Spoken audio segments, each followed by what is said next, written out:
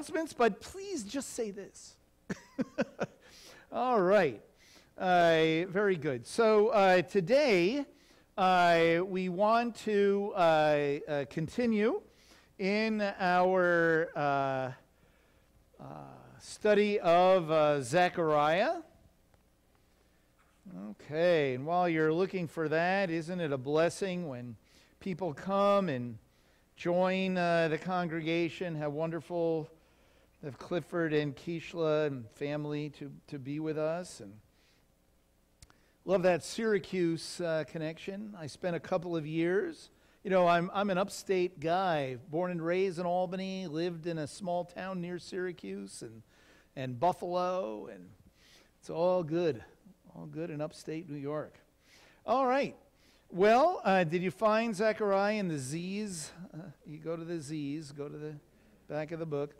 And uh, we've been in the fourth chapter for a little while.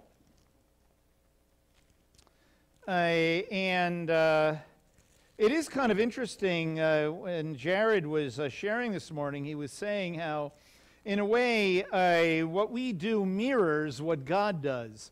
And that is actually part of what's going on, especially toward the end of the fourth chapter of, of Zechariah. So we have been in this for uh, a little a little while, uh, and really the theme of the chapter of these visions is the uh, the ruach, the the pouring out of the ruach, uh, the uh, the light uh, that the ruach brings, and and so on, and and we have said that sometimes people are surprised that we read so much uh, about uh, the Spirit of God in, in the Tanakh. Uh, and of course, we should not be surprised about anything uh, uh, along those lines because the Brit Hadashah is a continuation of the story. you know, it's not a different book. And, uh, and we have to even be careful, even in using the word fulfillment, because that can also give the impression of jettisoning, like, like the rocket that goes to the moon right? Uh, you know, like the first part has fulfilled its purpose, and so it's jettisoned and lands somewhere in the ocean, uh, you, you, know, and propels uh, the rocket to go to the moon. Uh, but that is not the case either. It's just a continuation of the, uh, of the uh, story. In fact, even the Brit Hadashah portion about the transfiguration, the glory of God, being revealed. And there's Moses and Elijah. And of course, uh, wait till next Sukkot, and we'll talk all about what motivated Peter to say, let's build sukkahs. Right? It, it was not uh, a coincidence. And it wasn't like, what? You know? It, there was a real meaning to it. In addition to the cloud, I mean, it's really, when you talk about uh, the uh, Jewish uh, essence of what it's made out you, know, who, who we are and what Yeshua came to do, it's all, it's all right, uh, right there. And certainly, uh, doesn't that relate to the glory of the Lord filling the, the, the tabernacle, the presence of, uh, of God in our midst? And that has a lot to do with what's happening here in the fourth chapter uh, of uh, Zechariah. So when we talk about um, this, we know that uh, the idea here is, is that God was encouraging the leadership uh, of the returnees to Judea, right? To Judah, right? He was encouraging them that they're, they're still uh, the chosen people, still in covenant relationship, that God has not left them, that the temple will be rebuilt, uh, you know, and that there is also a glorious future, right?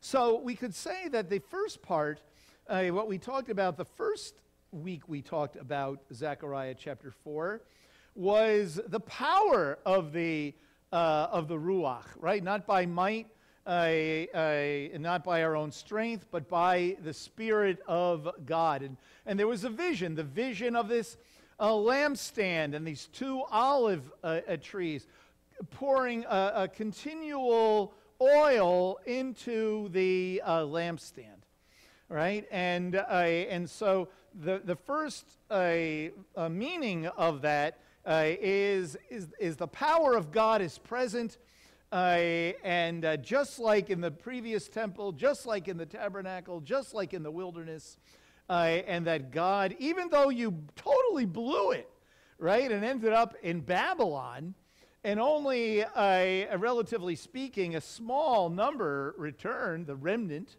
re- returned, uh, that uh, the presence of God was still there and that He would bring it to pass. He would bring it to pass as we read there in verse uh, uh, 6. Not by might nor by power, but by my spirit, says the Lord of hosts. Right? Now, it's really very interesting. In this, Zechariah, in this vision, Zechariah is taken by something because he continually asks about it and doesn't get an answer until the end.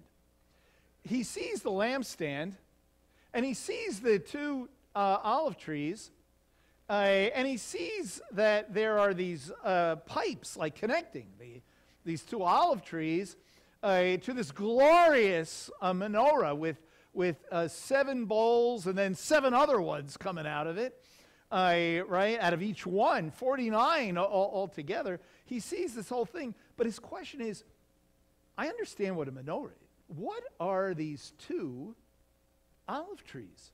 So, first he asks that uh, uh, toward the beginning in chapter 4, right? When uh, you see in verse 2, he says, I see and behold a lampstand all of gold with its bowl on top of it, and its seven lamps on it, with seven spouts belonging to each of the lamps, which are on top of it.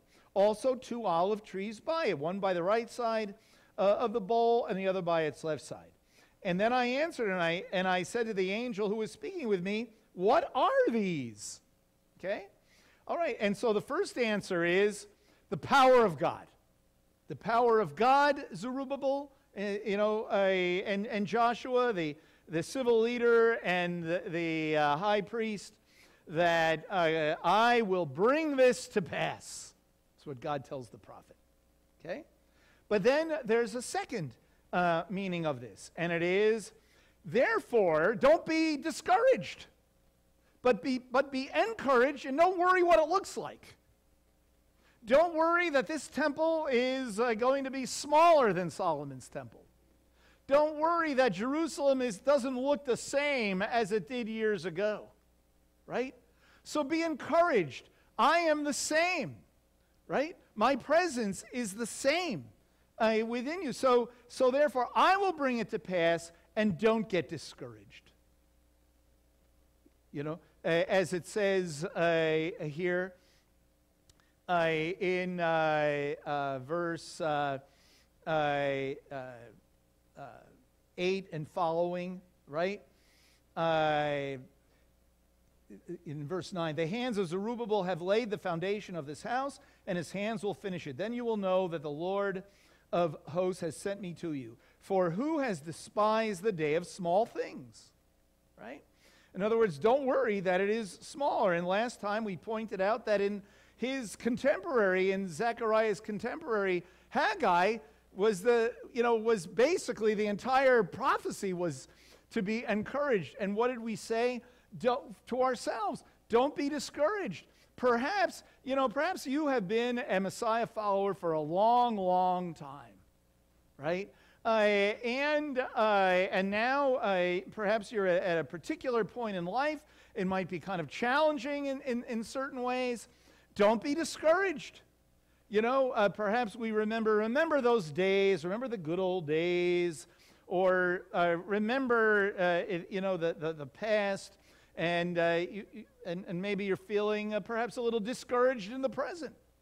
But no, God is the same. And you know, do not despise different times of life. You know, do not despise uh, where you are now. If in fact God is leading you, because, you know, uh, God has not changed. And, and so uh, hopefully we're encouraged uh, in whatever place we are. And, and what does uh, Paul uh, say in a whole bunch of different places? We don't look at the things we can see, but it's what we don't see, right? Uh, and what we don't see is what is eternal. There is in Second Corinthians, which is toward the end of his life, toward the end of his life, uh, he, that's where he says, uh, that, you know, internally we're being renewed day by day, but outside, uh, our, our bodies don't remain the same, right? Uh, and, and so, therefore, we should not be uh, uh, discouraged. And now there's a third part, right? So we have a, you know, empowerment, uh, we have uh, an encouragement, and then number three, in a way, what we have is calling. That the uh, Spirit uh, of, of, God being present in their midst uh, provides all they need for Israel to continue and ultimately fulfill uh, the calling of being a light to the, a light to the uh, nations. So here we come now uh, to verse 11. And uh, Zechariah has not had his question answered.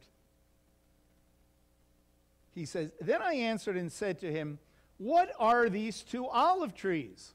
Like, remember? Uh, on the right of the lampstand and on its left. And I answered the second time and said to him, What are the two olive branches that are beside the two golden pipes, which empty the gold oil, the golden oil from themselves? It's like he's being real specific because he, he wants to get his question answered and it, it hasn't been answered yet. And now, finally, uh, there will be the uh, answered. So he answered me. Notice asking a question is answered and answering a question is answered, right? and uh, of course, um, that doesn't, you know, uh, you can give a whole message on anything.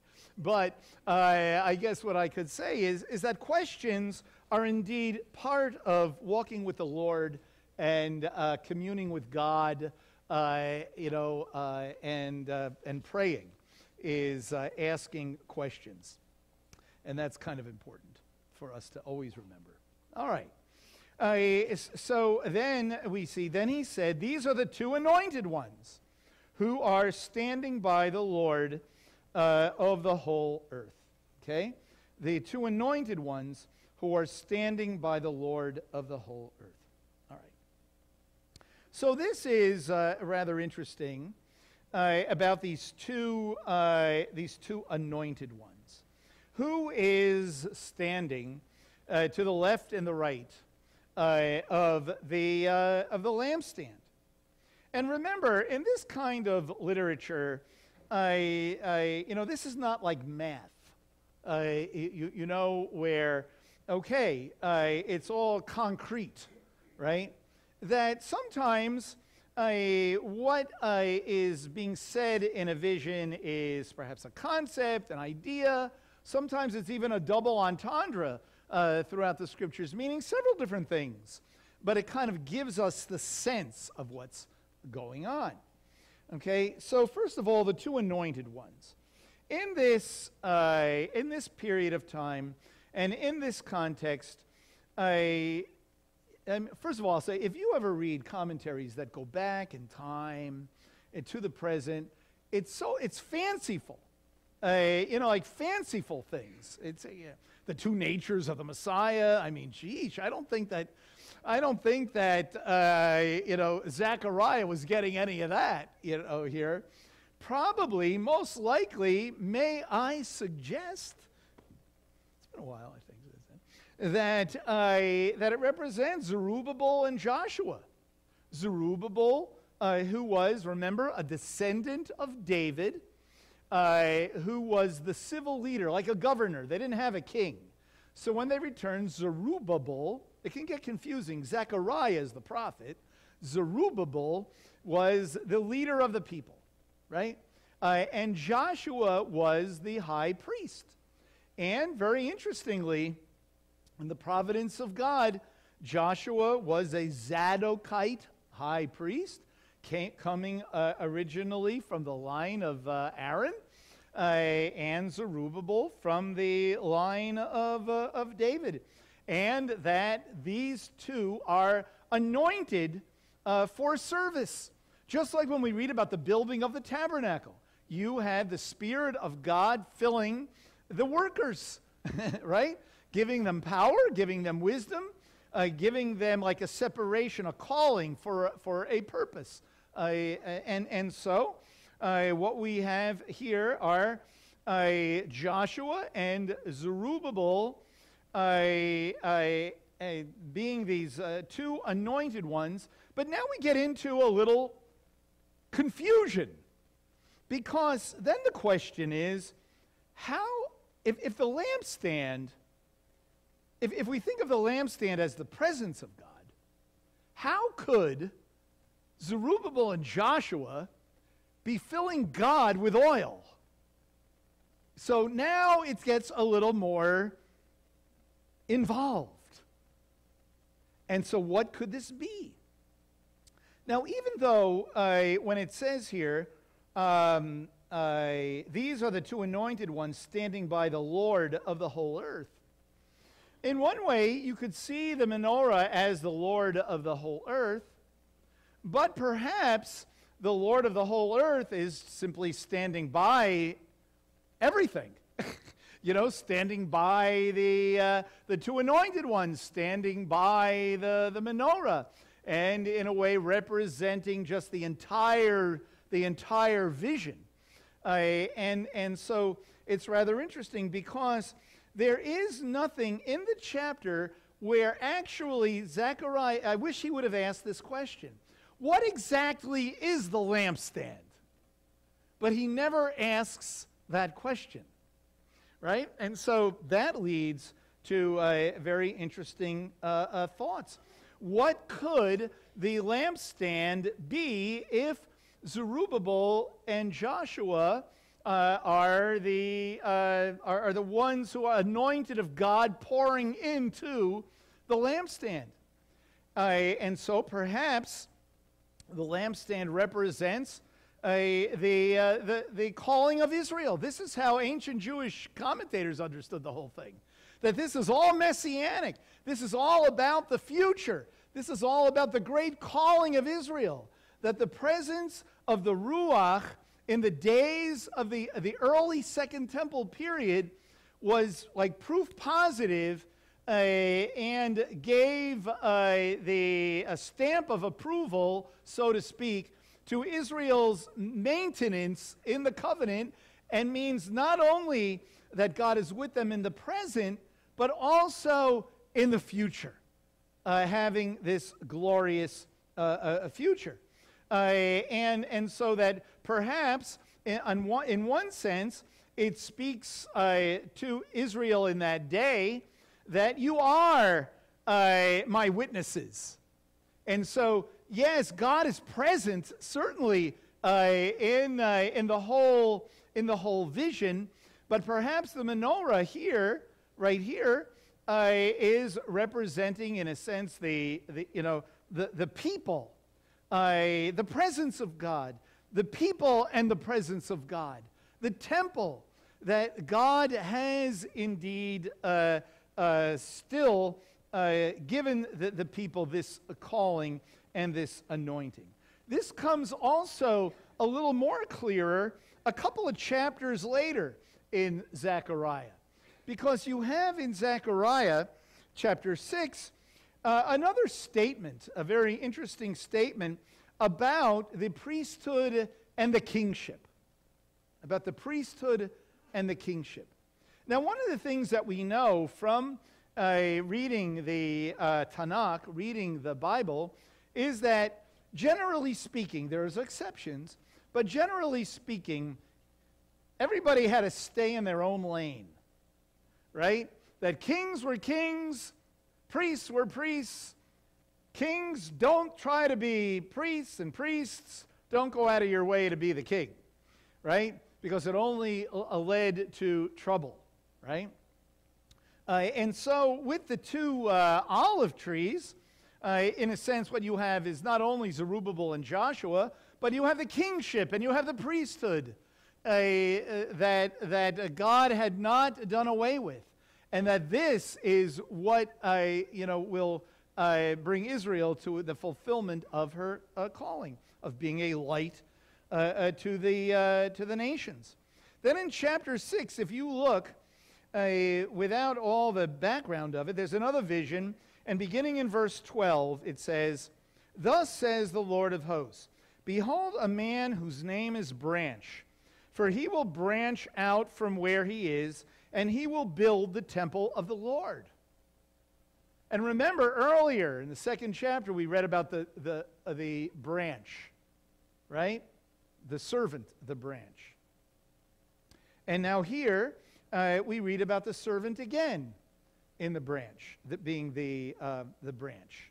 Okay? And he will build the temple of the Lord. Yes, it is he who will build the temple of the Lord, and he will bear the honor and sit and rule on his throne. Thus, he will be a priest on his throne, and the counsel of peace will be between the two offices. So, kind of interesting, you see that there is this one who is called the servant of the Lord, this one uh, who is going to be uh, called the uh, branch, and he is going to build the temple. He is going to be uh, the high priest. He is going to be the king. Clearly, uh, this uh, speaks of, from the point of view of this time period, it speaks to the future of the messianic age, of the days of Messiah, uh, when there will be the, the ultimate temple, uh, when the Messiah will, will rule, uh, and Israel will, again, like I said, be this a light to, the, to the nations, right? And, and so uh, what you see, even in these visions, is, is that it's all pointing forward, you know, to something, right? Now, it's also really interesting uh, that um, uh, you read in uh, uh Isaiah in chapter 60. In Isaiah chapter 60, when we talk about, well, is the lampstand the light of God or is the lampstand the light of Israel? What is it, right? Uh, and that is, of course, our Western categorical minds thinking that uh, we've got to, when we talk about rightly dividing the Word of God, it means we have to cut it up, uh, you know, and operate on it. Uh, you know, it, it, reminds me a little bit. Remember, as you're looking for Isaiah 60, remember the game Operation, right? Where you got the little tweezers and you. Sometimes we look at that's that's exactly that's how we have to understand the Bible. That this goes in this and this goes in this and this goes in this. But you know, in the ancient world, that's not exactly how they thought uh, and, and words were pictures uh, and, and brought to mind, in this case, this idea of the glory of God and, and Israel being attached to the glory of God and fulfilling her, her purpose. And God has given his uh, stamp on its leadership. Uh, and we're not doomed, even though it might look that way. But God is still all powerful. And wow, what a future it's going to be right? So in Isaiah 60, you know this probably from singing it as a song, uh, maybe. Uh, Arise, shine, for your light has come, and the glory of the Lord has risen upon you. For behold, darkness will cover the earth, and deep darkness the peoples. But the Lord will rise upon you, and his glory will appear upon you, not just to you right? Not just like you'll see it, but it will be upon you. And look, and the nations will come to your light, and kings to the brightness of your rising. And so, uh, when we read here, arise, for your light has come, this is speaking of, you know, this, uh, this great day uh, this great day of the brightness of the day of the, of the Lord, the consummation. Uh, and so the light of God comes upon Israel, and Israel is the light of the world. And nations see the light uh, and come to it. You know, and, uh, and, and that, uh, may I suggest, uh, perhaps might have been, you know, remember that Isaiah was written before uh, Zechariah, and that this plays a role in what Zechariah was seeing uh, and understanding. Yes, the light of God coming upon the light of, of Israel. Uh, and that ultimately uh, it is the messianic king priest uh, who will perpetually shine uh, this light uh, upon uh, Israel. Well, there's more to this, right? And that is if you go to the book of Revelation and you look at the beginning of the book of Revelation, Revelation is built on the prophets uh, of Israel. Okay? Some, uh, some people use the terminology prophetic apocalypse, apocalyptic, apocalyptic literature. Prophetic, that it's, it's not just fanciful stuff that comes out of nowhere, but that it is rooted in the pages of the prophets. Uh, you know, uh, if you go to a seminary, oftentimes the class on the book of Revelation is actually called Daniel Revelation and, and not taught all by itself. But Zechariah uh, also plays a role uh, in the imagery of the book of Revelation, right? So in uh, the first uh, chapter, you see uh, here, I I guess I should start in verse 10.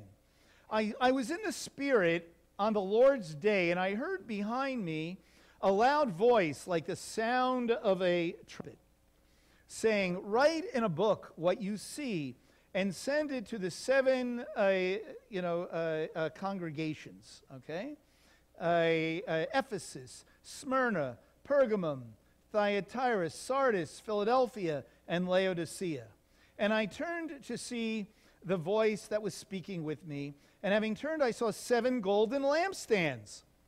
And in the middle of the lampstands, one like a son of man, clothed in a robe reaching to uh, the feet and girded across his breast with a golden girdle. And his head and his hair were white, like white wool, like snow. And his eyes were like flames of fire. And his feet were like burnished bronze when it has been caused to glow in a furnace. And his voice was like the sound of uh, many waters. And in his right hand he held out seven stars and out of his mouth came a sharp two edged sword, and his face was like the sun shining uh, in, its, uh, in its strength. Right? And a little farther down in verse 19 Write therefore the things which you have seen, and the things which are, and the things which shall take place after these things.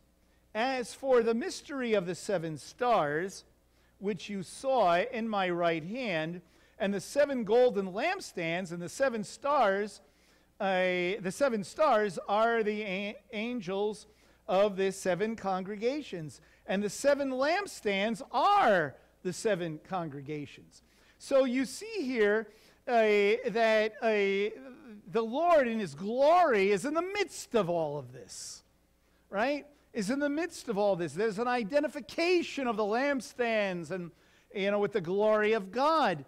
And of course, it, repres- it means like, you know, the, the, lamp, all the, the congregations are the visible representation of, of God. And, and so he's going to have a lot to say to them because they're not quite living up to the calling uh, that they're called to be. But that's not all. If you go to the 11th chapter of uh, uh, Revelation, okay, uh, you, read, uh, you read this. Uh, in verse 3, save a few minutes. I will grant authority to my two witnesses, and they will prophesy for 1260 days, clothed in sackcloth. These are the two olive trees and the two lampstands that stand before the Lord of the earth. And if anyone desires to harm, then fire proceeds out of their mouth and devours their enemies. And if anyone would desire to harm them in this manner, he must be killed. These have the power to shut up the sky in order that rain may not fall during the days of their prophesying. And they have power over the waters to turn them back into blood and to smite the earth uh, with every plague as often as they desire. And when they have finished their testimony, the beast that comes out of the abyss will make war with them and overcome them uh, and kill them. And their dead bodies will lie in the street of the great city, which mystically is called Sodom in Egypt, uh, where also their Lord was crucified. And uh, from the and from the peoples and tribes and tongues and nations will look at their dead bodies, and for three and a half days will not permit their dead bodies to be laid in a tomb and those who dwell on the earth will rejoice over them. It goes on. And then finally in verse 11, and after three and a half days, the breath of life from God came into them, and they stood on their feet. Great fear uh, fell uh, upon those who were uh, beholding. They heard a loud voice from heaven saying to them, Come up here, and they went into the heavens and the clouds, and their enemies beheld them. Okay, well, now, you know, go ahead and decide who you want the two witnesses to be. Go right ahead. All right? But the, the, the point uh, of this is, is that they bear a really interesting resemblance to uh, how Yeshua is described in the first chapter, uh, as well as the power of God and what God does, you know, uh, throughout uh, the scriptures.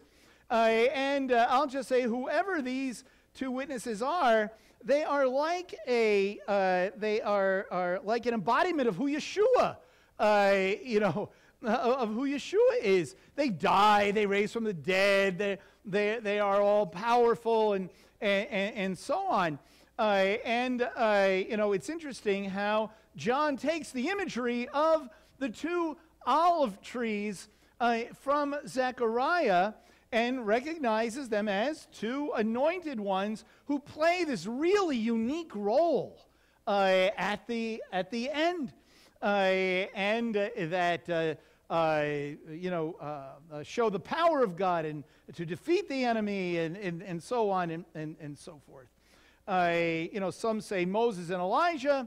That's fine. That was on the Mount of Trans. They were at the Mount of Transfiguration, right? Uh, they, they play uh, very uh, unique roles in, in history, but nobody knows for sure. And, and you know, don't get sidetracked by having, having to get that right.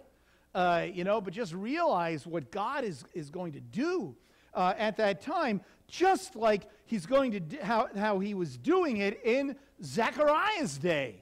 Uh, you know, and then of course, with the coming of Yeshua, uh, as uh, we will learn in this uh, uh MSI course, that the life, the death, the resurrection, the ascension, uh, and the pouring out of the Ruach are all this work of Messiah that by Yeshua being at the right hand of the Father still continues to this day.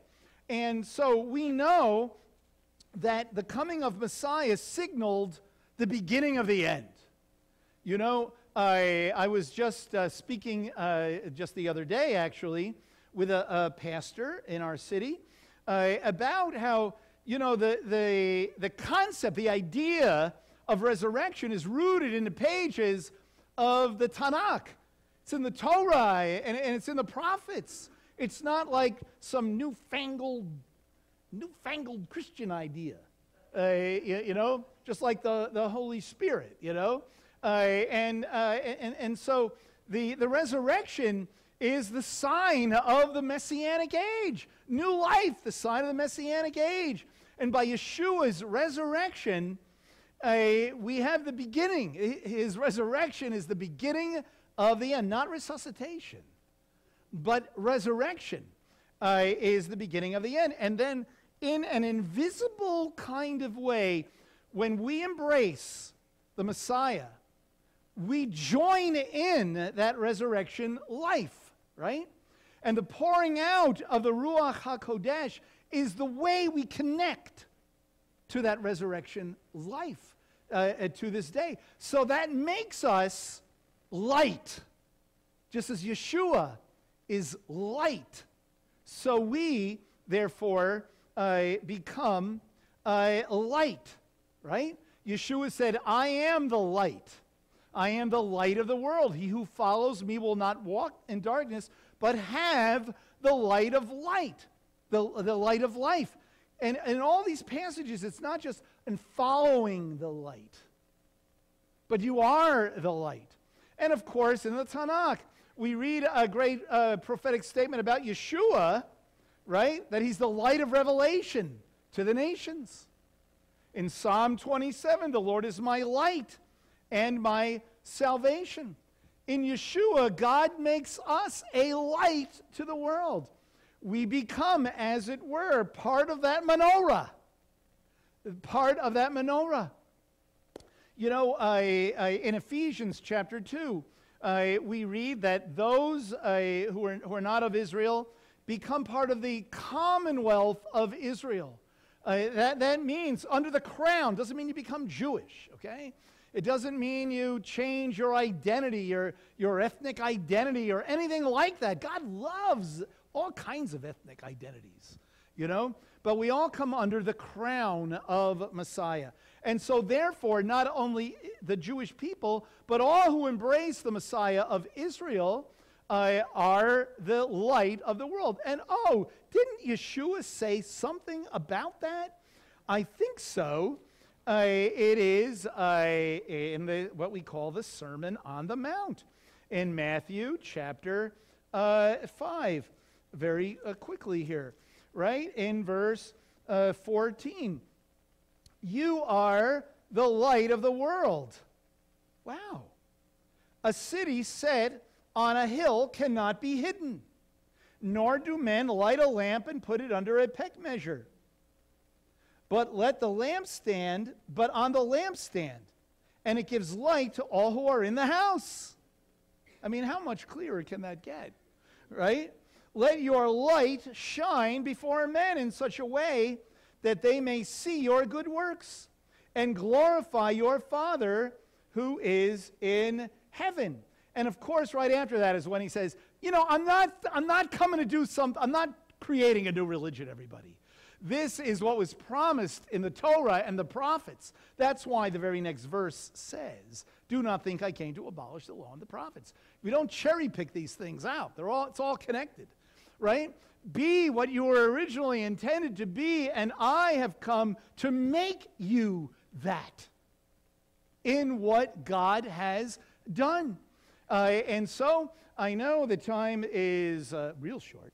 Uh, and so you know, you can look up lots of different verses in 1 Corinthians chapter 3 and verse 16 and 2 Timothy 1:14 and we read very clear verses that the spirit dwells in us. There's lots of verses that's, that infer it and say it. The spirit of God indwells us. This is why the pouring out on Shavuot of the Ruach is so, uh, is so I- important. Uh, it is, in a way, the, the real, the, what, what the, the Jewish commentaries look forward to someday might happen, began to happen on Shavuot when the Ruach, when the Spirit of God was poured out. And we get to live on the other side of that. And that means that whenever you embrace Yeshua, the Ruach comes to indwell you. You know, yes, your sins are forgiven. Uh, yes, you know, you, you enter the road of sanctification and holiness and, and so on. But now, we as Israel and human beings can finally begin to fulfill this calling of glorifying God and living that out in such a way that people see the light of Yeshua when they see us. And we are never absent of the light, always being poured in always being poured into us. We're never empty unless we walk away. In other words, what do I mean by walk away? You know, if we don't receive, it's all there. The question is, do we receive? Are we in the Word of God? Uh, are we um, focused on the things of God? Are we people of prayer? Uh, or do we give God a tip? You, you know, now and then I'll show up for a service and sing a song you know, uh, or, or, that, or uh, you know, are we uh, a living sacrifice?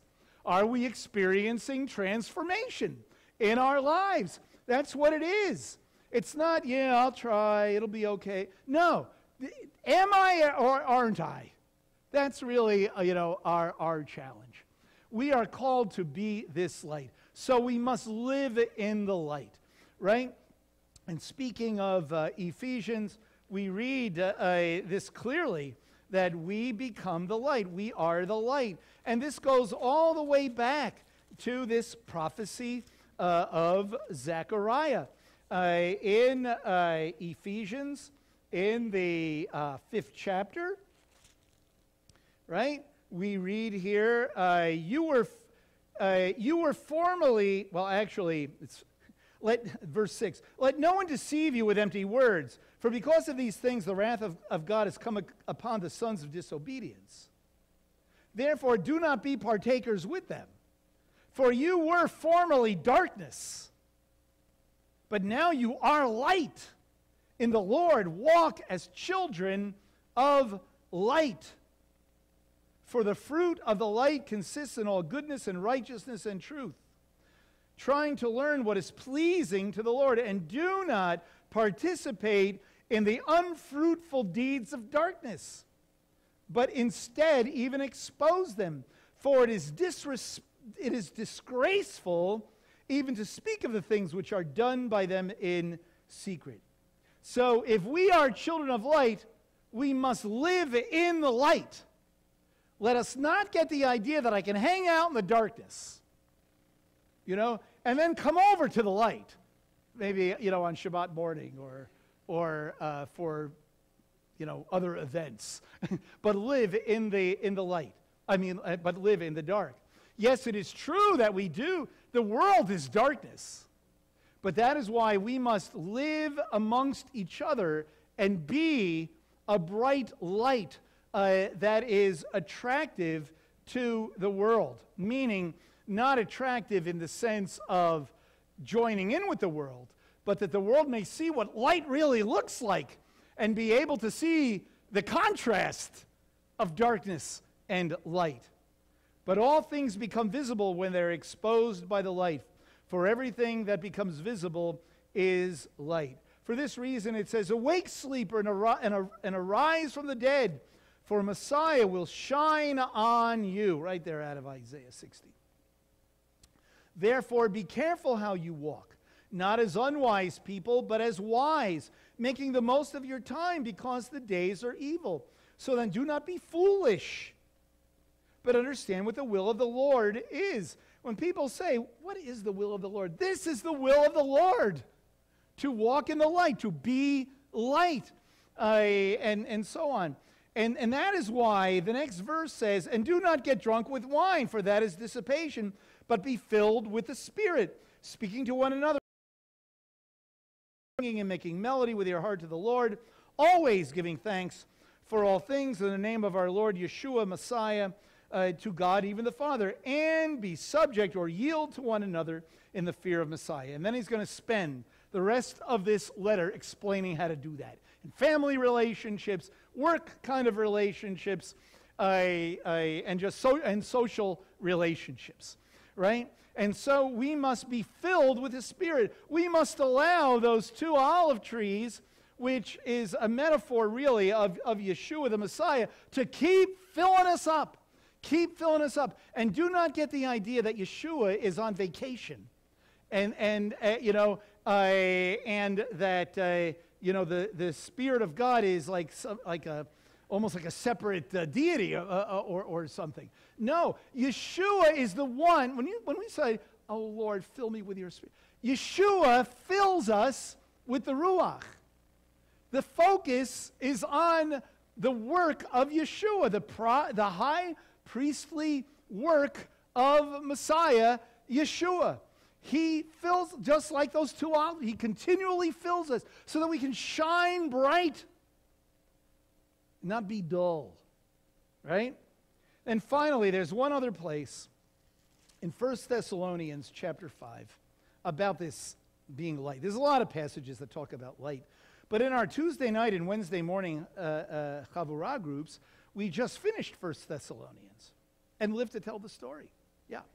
Uh, and so in First Thessalonians chapter 5, I'm going to read these verses. Uh, I'm probably going to jump around a little bit. Okay.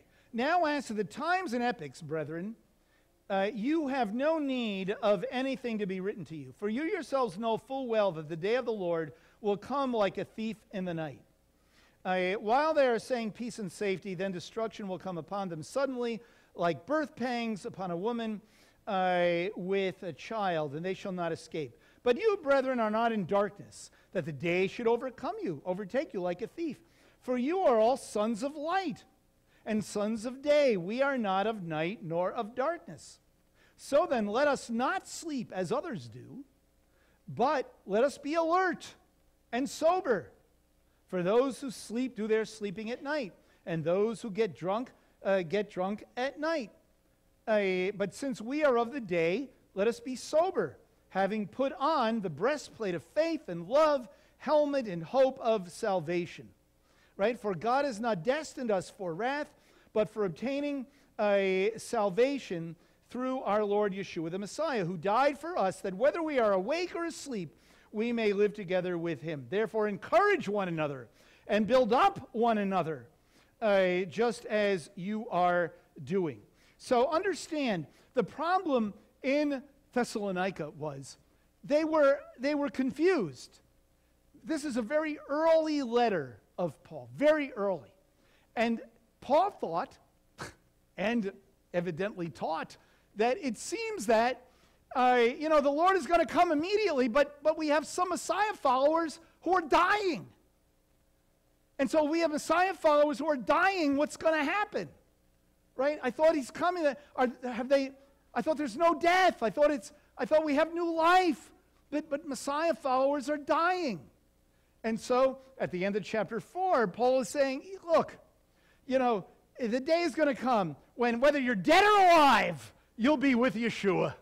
Dead or alive. And that's exactly what he's saying here in chapter 5. Whether you're awake or you're asleep, this is your destiny if you are light. Whether you die, whether you, you know, you're, you're there for the day, don't worry about that that, uh, you know, that, that you will be with the Lord. And finally, Paul does come around in Second Corinthians, where he's the, I can't decide, should I die or should I live? You know, uh, better to be with the Lord. Uh, but the point is here is that no matter what's going on, no matter what's going on in the world, no matter what's going on in our lives, that we are light and let us all live like children of light. We are children of the day. We all know after a certain hour at night, nothing good happens, right? Right? So we are children of the day. Let's live that way. We are light. Let's live that way. Let's live that way 24 7. Let us be light. Let us live in a state of light, light and life. And so I'll just say, he goes on to say in verse 14, uh, he says, uh, Live in peace with one another. And we urge you, brethren, admonish the unruly, which means kind of like those who don't get with the program. Uh, you know, uh, encourage the faint hearted, help the weak, be patient with all people. See that no one repays another with evil for evil, but always seek after that which is good for one another and for all people. Rejoice always, pray without, pray without ceasing. And everything give thanks, for this is the will of God for you in Messiah Yeshua. Do not quench the spirit, right? Uh, do not despise prophetic utterance, but examine everything carefully. Hold fast to that which is good. Abstain from every form of evil. And I'll, st- I'll stop there. That is a way of life. It's sort of like general axioms of this is, this is what it means to live uh, in the light. And so when we look at this passage back in Zechariah chapter 4, this was an encouragement to Zerubbabel and to Joshua, an encouragement to those people that in their day, you know, in the uh, uh, 400s, you know, that God was BCE, God was with them. It points forward to the the, the light of Messiah to come. Uh, and even for us today, it points forward to that day when, uh, you know, when Israel and, and, the, and all believers will fulfill this calling of being a light uh, in this world.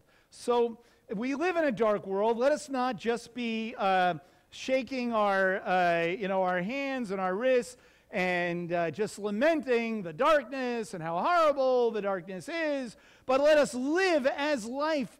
And if we really desire to be, uh, you know, to change the world, let us do so by shedding light on this dark world. Let's pray.